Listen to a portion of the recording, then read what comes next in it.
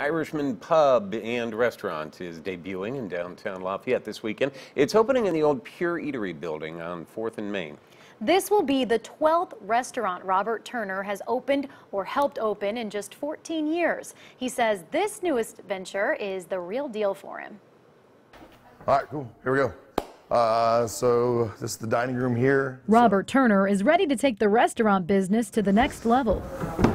With three floors for seating, space for private parties, and a rooftop patio, there's plenty of room to dream. Somebody on a banjo and harmonica and acoustic guitar, so we'll do live music here. And it doesn't stop there. This is one of a kind. There's another outdoor patio downstairs. It's awesome.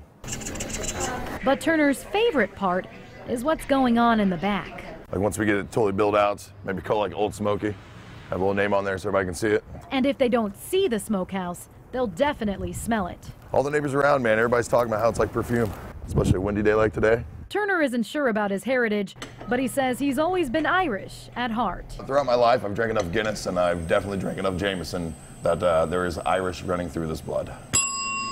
And he loves a full plate of Irish food. I'm going to talk about the barbecue meatloaf. That is my favorite dish. I can confirm it's delicious. It doesn't even taste like meatloaf. It's like another kind of invention. That's it's so good. I appreciate it. That's why that's that's why it's gonna be your signature dish. But at the end of the day, Turner says it's not just the food or location that makes the restaurant. Good staff, good people.